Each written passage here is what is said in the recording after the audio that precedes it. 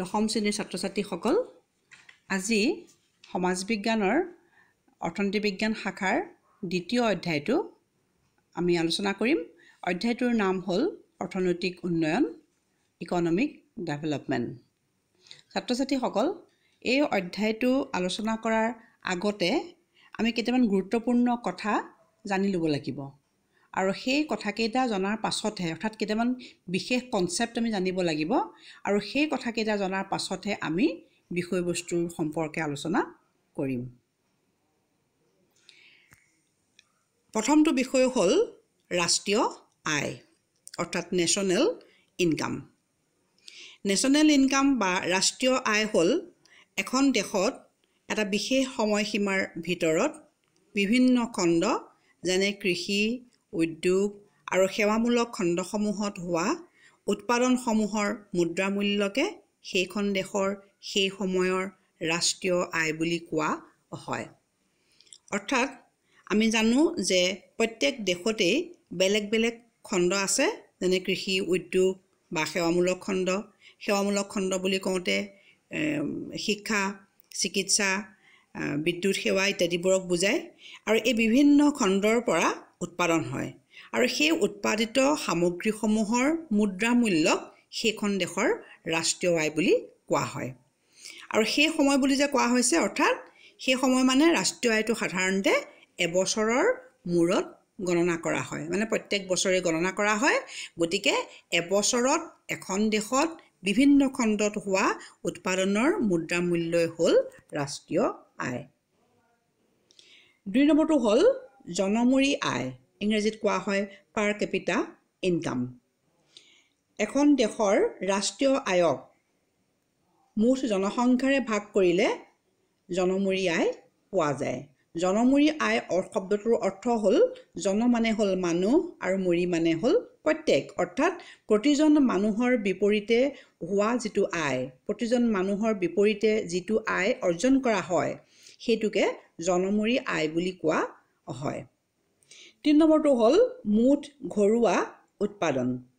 এটা নিৰ্দিষ্ট সময়ত এখন দেশৰ ভিতৰত বিভিন্ন খণ্ডত হোৱা উৎপাদনক মুঠ ঘৰুৱা উৎপাদন বোলে। অৰ্থাৎ মুঠ ঘৰুৱা উৎপাদন ইজ ইকুৱেল টু মুঠ ৰাষ্ট্ৰীয় উৎপাদন মাইনাছ আমদানি।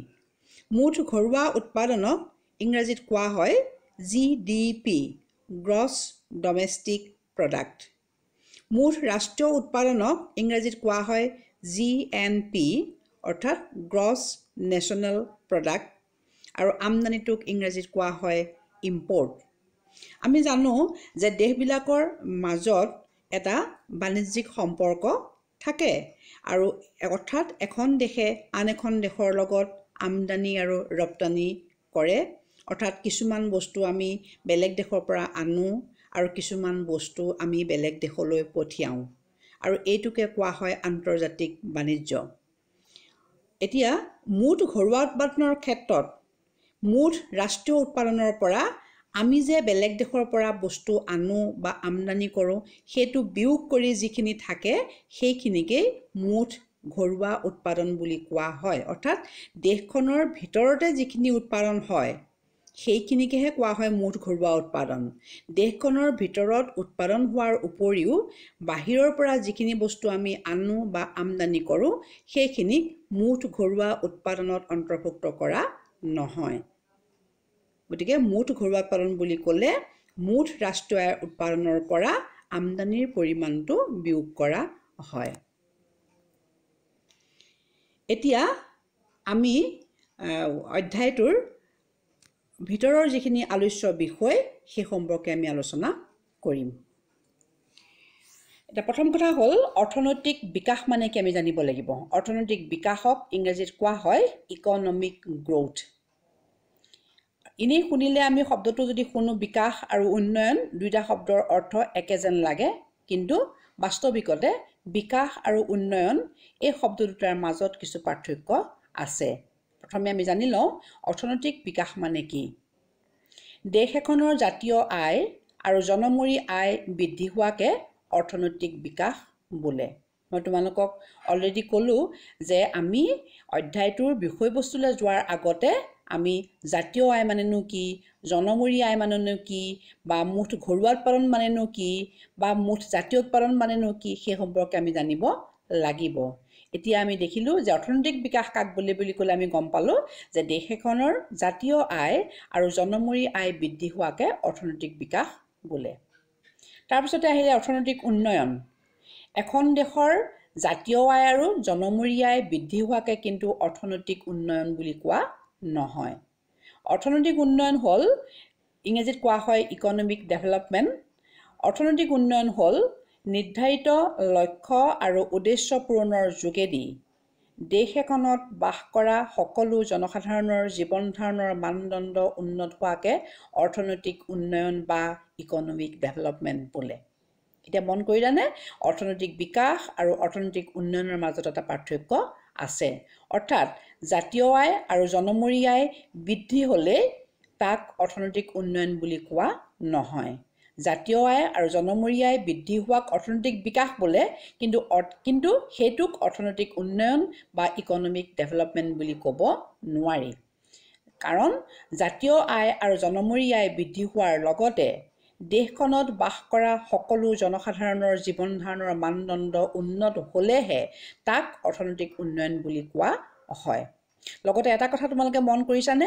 নিৰ্ধাৰিত লক্ষ্য আৰু উদ্দেশ্য পূৰণৰ যোগেদি দেশখনত বাস কৰা জনসাধাৰণৰ জীৱন ধাৰণৰ মানদণ্ড উন্নত হোৱাকে অৰ্থনৈতিক উন্নয়ন বোলে। অৰ্থাৎ অৰ্থনৈতিক উন্নয়ন হ'বলৈ হ'লে নিৰ্ধাৰিত লক্ষ্য আৰু উদ্দেশ্য পূৰণ কৰিব লাগিব। আৰু সেই লক্ষ্য আৰু উদ্দেশ্য দেশখনৰ জনসাধাৰণে ঠিক কৰি ল'ব লাগিব। অৰ্থাৎ যিহেতু আমাৰ আমি যদি আমাৰ ভাৰতবৰ্ষৰ ক্ষেত্ৰত চাওঁ ভাৰতবৰ্ষ এখন গণতান্ত্ৰিক দেশ। গতিকে জনসাধাৰণে আমি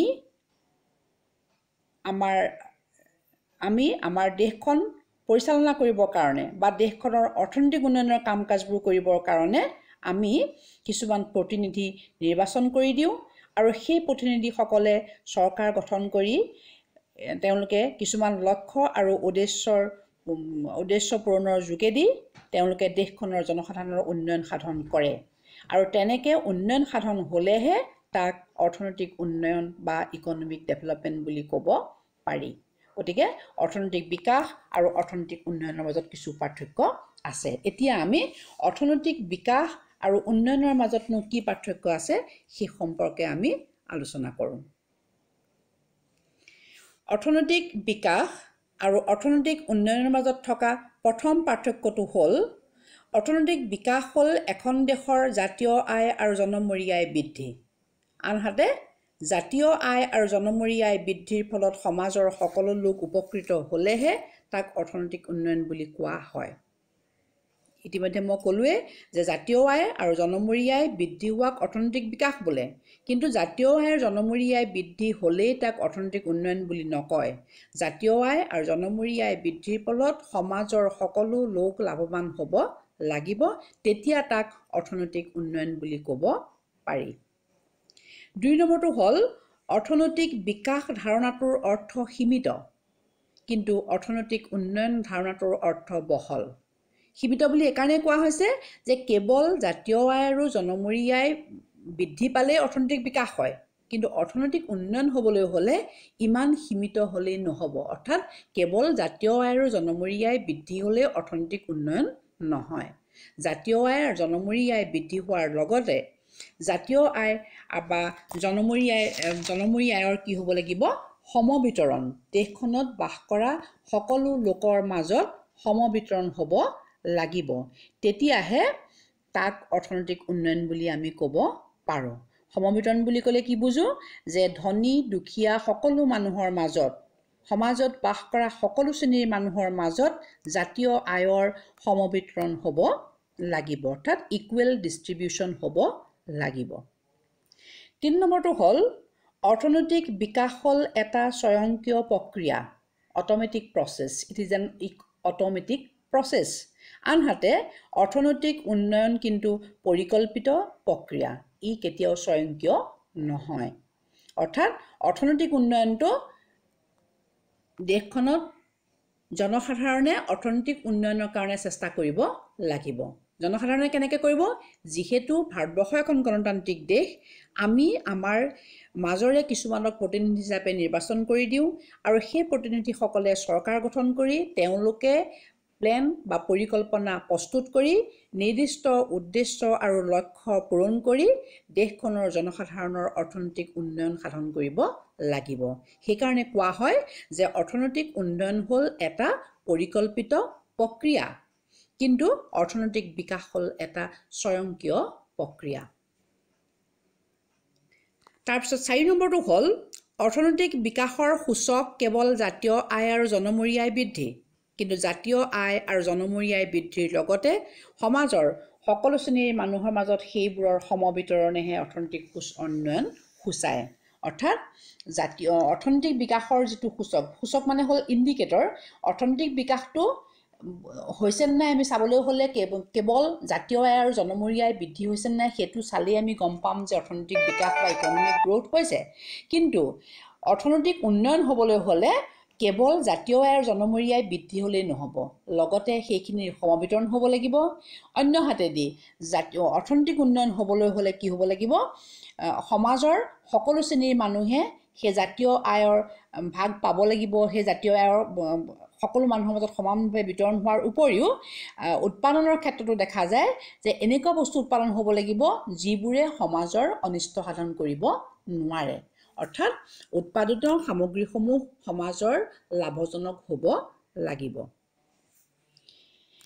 তাৰপিছত পাঁচ নম্বৰটো আহিলে অৰ্থনৈতিক বিকাশৰ ক্ষেত্ৰত কেৱল আনুষ্ঠানিক খণ্ডৰ উৎপাদনৰ ওপৰতহে গুৰুত্ব দিয়া হয় কিন্তু অৰ্থনৈতিক উন্নয়নৰ ক্ষেত্ৰত আনুষ্ঠানিক আৰু অনানুষ্ঠানিক দুয়োটা খণ্ডৰ হিচাপ কৰা হয়। এইটো এইটো কথা তোমালোকক মই কৈছোঁ যে এইটো মানে কেনেকুৱা?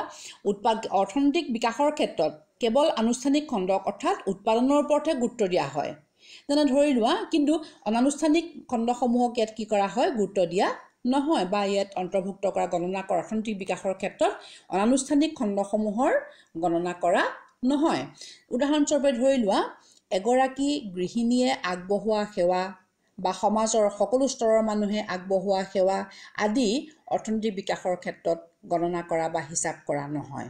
কিন্তু অৰ্থনৈতিক উন্নয়নৰ ক্ষেত্ৰত এগৰাকী গৃহিণীয়ে আগবঢ়োৱা বা সমাজৰ সকলো স্তৰৰ মানুহে আগবঢ়োৱা যিখিনি সেৱা সেই গোটেইখিনি হিচাপ কৰা হয়।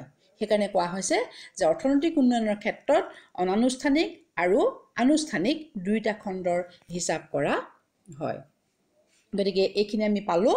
অৰ্থনৈতিক বিকাশ আৰু অৰ্থনৈতিক উন্নয়নৰ মাজত পাৰ্থক্য। তোমালোকে ভিডিঅ'টো চাই সেই পাৰ্থক্যখিনি তোমালোকে এনেকৈ ওৱান টু থ্ৰী ফ'ৰকৈ এনেকৈ লিখি ল'বা।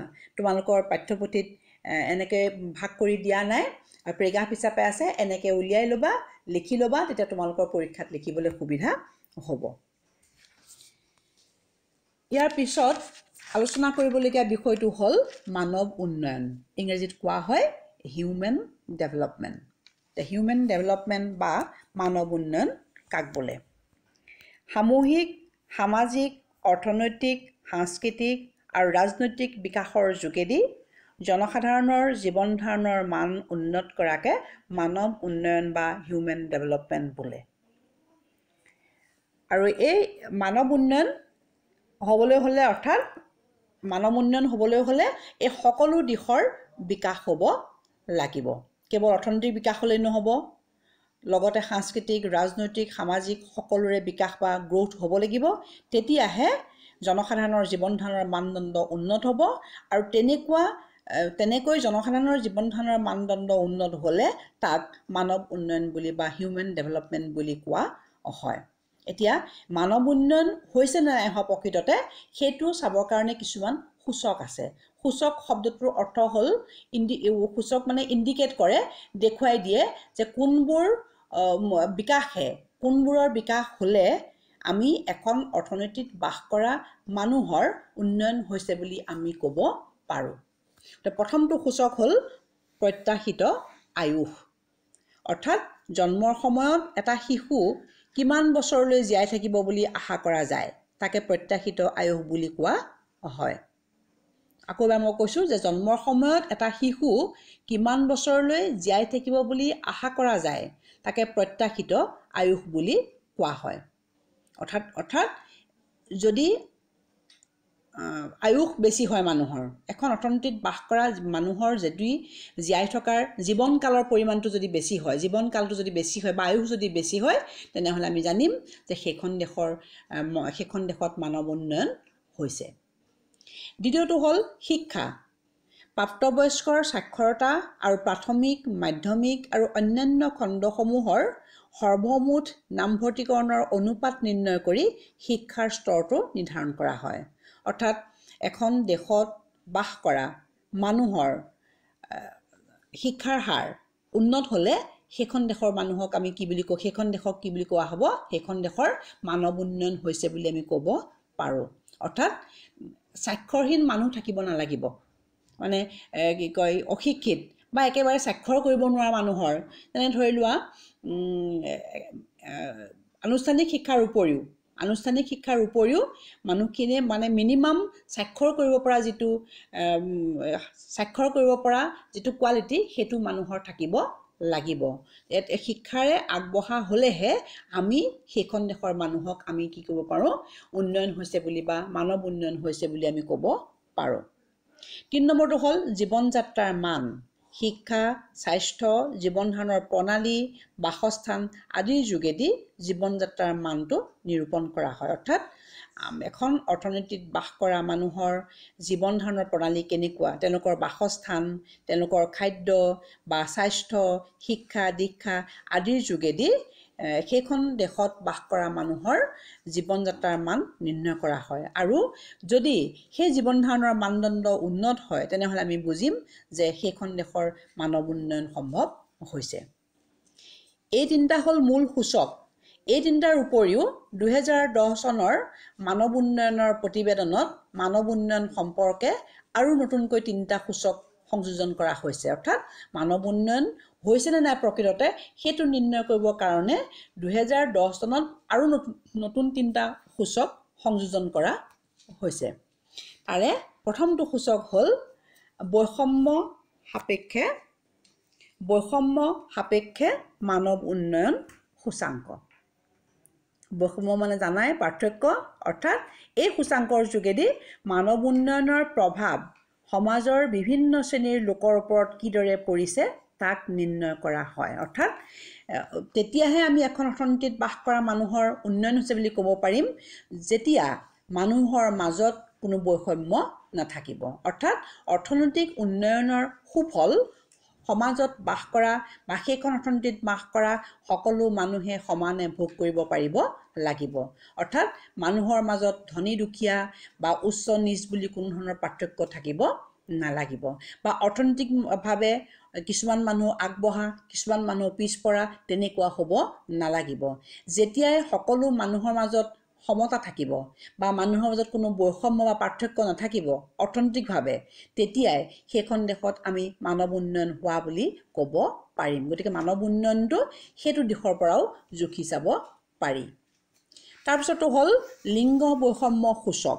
অৰ্থাৎ পুৰুষ মহিলাৰ মাজত থকা যিটো বৈষম্য সেইটো নাথাকিলে আমি সেইখন দেশত মানৱ উন্নয়ন বা হিউমেন ডেভেলপমেণ্ট হৈছে বুলি ক'ব পাৰিম। যিখন অৰ্থনীতিত পুৰুষ আৰু মহিলাৰ মাজত পাৰ্থক্য থাকিব অৰ্থাৎ অৰ্থনৈতিকভাৱে কিছুমান অৰ্থনৈতিকভাৱে পুৰুষসকল আগবাঢ়ি যাব আৰু মহিলাসকল পিছ পৰি যাব বা কিছুমান কাম পুৰুষেহে কৰিব পাৰিব মহিলাই কৰিব নোৱাৰিব বা অৰ্থনৈতিক বা উপাৰ্জনৰ পথবোৰ পুৰুষৰ বেলেগ মহিলাৰ বেলেগ তেনেকুৱা যদি হয় তেনেকুৱা যদি পুৰুষ মহিলাৰ মাজত যদি পাৰ্থক্য থকা বা বৈষম্য থাকে তেতিয়াহ'লে সেইখন অৰ্থনীতিত বাস কৰা মানুহখিনিৰ উন্নয়ন হৈছে বুলি আমি ক'ব নোৱাৰোঁ। গতিকে মানৱ উন্নয়নৰ আন এটা সূচক হ'ল লিংগ বৈষম্য সূচক। অৰ্থাৎ পুৰুষ মহিলাৰ মাজত কোনো ধৰণৰ বৈষম্য থাকিব নালাগিব। তিনি নম্বৰটো হ'ল বহুমাত্ৰীয় দৰিদ্ৰ সূচাংক। এই সূচাংকৰ যোগেদি ব্যক্তি পৰিয়াল আৰু তাতকৈ বৃহৎ গোষ্ঠীৰ লোকসকল কিদৰে আৰ্থসামাজিক সুবিধাসমূহৰ পৰা বঞ্চিত হ'বলগীয়া হয় তাক নিৰ্ণয় কৰা হয়। অৰ্থাৎ কেতিয়াবা আমি দেখোঁ যে কিছুমান মানুহ চৰকাৰে আগবঢ়োৱা বা দেশখনৰ কিছুমান আৰ্থসামাজিক সুবিধাৰ পৰা কিছুমান মানুহ বঞ্চিত হয়। তেনেকুৱা হ'ব নালাগিব। অৰ্থাৎ সমাজত বাস কৰা সকলো শ্ৰেণীৰ মানুহে সমানে অৰ্থনৈতিক উন্নয়নৰ সুফল ভোগ কৰিব পাৰিব লাগিব। তেতিয়া আমি সেইখন দেশৰ মানৱ উন্নয়ন হৈছে বুলি আমি ক'ব পাৰোঁ।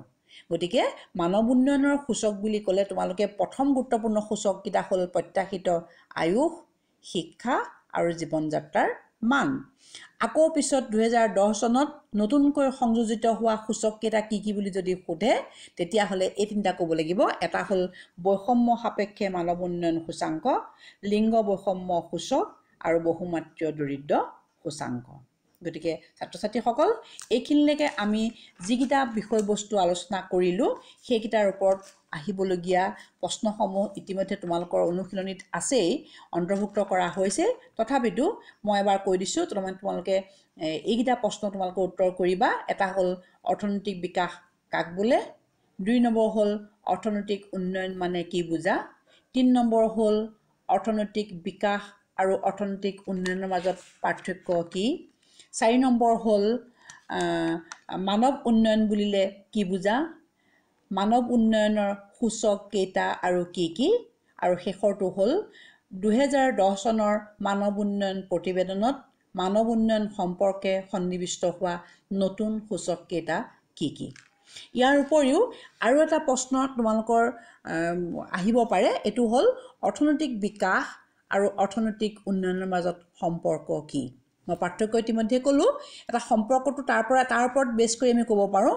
সম্পৰ্কটো হ'ল যে অৰ্থনৈতিক বিকাশ আৰু অৰ্থনৈতিক উন্নয়ন দুয়োটা যদিও বেলেগ বেলেগ অৰ্থাৎ দুয়োটাৰ অৰ্থ যদিও বেলেগ দুয়োটাৰ মাজত কিন্তু এটা ওতঃপ্ৰোত সম্পন্ন আছে। অৰ্থাৎ উন্নয়ন হ'বলৈ হ'লে প্ৰথমে অৰ্থনৈতিক বিকাশ হ'ব লাগিব। কিন্তু অৰ্থনৈতিক বিকাশ হ'লেই যে অৰ্থনৈতিক উন্নয়ন হ'ব এনে নহয়। উদাহৰণস্বৰূপে ধৰি লোৱা দেশ এখনত থকা বিভিন্ন খণ্ডসমূহ যেনে কৃষি এখনত যেনে কৃষি উদ্যোগ সেৱামূলক খণ্ড আদিৰ উৎপাদন বৃদ্ধি হ'লেই তাক অৰ্থনৈতিক বিকাশ বোলে। কিন্তু তেনে বিকাশৰ বাবে যদি দেশৰ সম্পদসমূহৰ যধে মধে ব্যৱহাৰ হয় বা তাৰ ফলত যদি পৰিৱেশ দূষিত হয় বা দূষিত পৰিৱেশে যদি জনস্বাস্থ্যৰ প্ৰতি ভাবুকি কঢ়িয়াই আনে উৎপাদিত সামগ্ৰীসমূহৰ যদি সমবিতৰণ নহয় তেতিয়া তেনে বিকাশৰ ফলত অৰ্থনৈতিক উন্নয়ন হৈছে বুলি আমি ক'ব নোৱাৰোঁ। গতিকে অৰ্থনৈতিক বিকাশ হ'লেই যে অৰ্থনৈতিক উন্নয়ন হ'ব এনে নহয়। দুটাৰ মাজত সম্বন্ধ আছে অৰ্থাৎ অৰ্থনৈতিক উন্নয়ন হ'বলৈ হ'লে অৰ্থনৈতিক বিকাশ হ'ব লাগিব। কিন্তু সকলো অৰ্থনৈতিক বিকাশেই অৰ্থনৈতিক উন্নয়ন নহয়। এই কথাটো পৰীক্ষাত প্ৰশ্ন নাহিলেও এই কথা সম্পৰ্কটোৰ বিষয়ে তোমালোকে কিছু কথা জনা দৰকাৰ। গতিকে ছাত্ৰ ছাত্ৰীসকল আজি আমি এই ক্লাছটোত এইখিনিলৈকে আমি আলোচনা কৰিলোঁ। ইয়াৰ পিছৰ ক্লাছত আমি পৰিকল্পনা সম্পৰ্কে আলোচনা কৰিম। পৰিকল্পনা অৰ্থাৎ পৰিকল্পনা ভাৰতবৰ্ষৰ পৰিকল্পনা কোন চনত আৰম্ভ হৈছিলে কেনেকৈ হৈছিলে বা পৰিকল্পনা আয়োগ কেতিয়া গঠন হৈছিলে বৰ্তমান পৰিকল্পনা আয়োগক কি বুলি কোৱা হয় এই সম্পৰ্কে আমি পিছত আলোচনা কৰিম। তোমালোকে আজি পঢ়োৱা ক্লাছৰ ওপৰত ভিত্তি কৰি প্ৰশ্ন উত্তৰখিনি কৰিবা বুলি আশা কৰিলোঁ। লগতে আৰু এটা কথা কওঁ মোৰ এই ভিডিঅ'টো তোমালোকে চাই কেনেকুৱা পালা কমেণ্ট কৰিবা। যিহেতু তোমালোকৰ কমেণ্টৰ ওপৰত ভিত্তি কৰি মই তেতিয়া মোৰ ক্লাছটো আৰু উন্নত কৰিবলৈ মই চেষ্টা কৰিব পাৰিম। দ্বিতীয়তে তোমালোকে ভিডিঅ'টো ছাবস্ক্ৰাইব কৰিবা আৰু শ্বেয়াৰ কৰিবা। ধন্যবাদ।